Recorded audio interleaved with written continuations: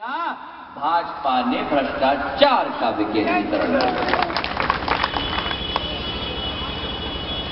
जहाँ एक तरफ़ जनता त्रस्त, इनके मंत्री मस्त, प्रशासन भ्रष्ट और कानून व्यवस्था पूरी तरह से नष्ट।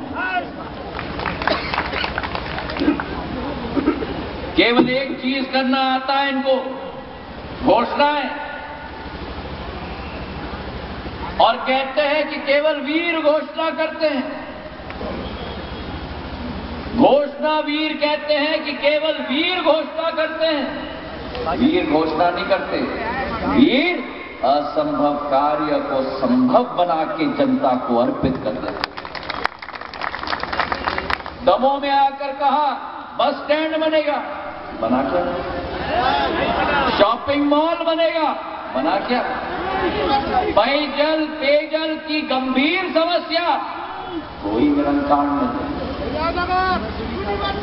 यूनिवर्सिटी की बात की गई, कोई यूनिवर्सिटी नहीं। इन्वेस्टर मीट सब दूर करते हैं, चार लाख करोड़ के एमओयू साइन किए। किसके पॉकेट में गए, आपको और हमें ही मालूम अतिवृष्टि हुई, कोई मुआवजा नहीं, कोई सर्वे नहीं।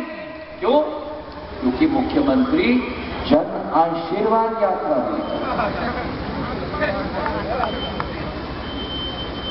तो आज मेरे भाई और बहनों जो सड़कें दी, दी गई है दमों में जो मुझे कहा गया कि एक फर्जी कंपनी बनी है और जहाँ एक तरफ़ पे सड़क का डामर लगाया जा रहा है दस दिन के अंदर दूसरे तरफ़ जैसे कालीन लगाई जाती है ना सवा के बाद ये कालीन उठा के ले जाएँगे, वैसे यहाँ दमों में सड़क भी उठा के ले जाते हैं कंपनी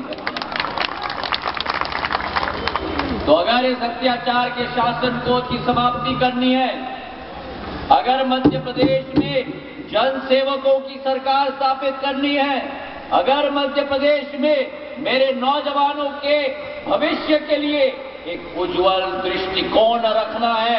रोज़गार के अवसर उत्पन्न कराने हैं। लैपटॉप हर नौजवान को देना है जो उत्कृष्ट हो। अगर इंटरनेट का कनेक्शन देना है, मैं चाहता हूँ कि मेरा नौजवान दमों का इक्कीसवीं सदी भारत वर्ष में नहीं, लेकिन विश्व की इक्कीसवीं सदी के नौजवानों के साथ प्रतिस्पर्धा में शामिल हो। ये मेरी दिल की चाह है। आज मध्य प्रदेश चिल्ला रहा है किसानों के लिए न्याय के लिए, महिलाओं के लिए न्याय के लिए, नौजवान के न्याय के लिए। अगर कांग्रेस की सरकार बनी तो वो सरकार किसानों की सरकार होगी, वो सरकार नौजवानों की सरकार होगी, वो सरकार महिलाओं, दलितों और आदिवासियों की सरकार होगी, वो सरकार जनता के सेवक की सरकार होगी और उस सरकार में चंद्रबान लोधी को आप आशीर्वाद प्रदान करो ताकि इस क्षेत्र का, इस दमों का परचम लहरा के मध्य प्रदेश की विधानसभा में लगा पाए। धन्यवाद। जय हिंद, जय भारत।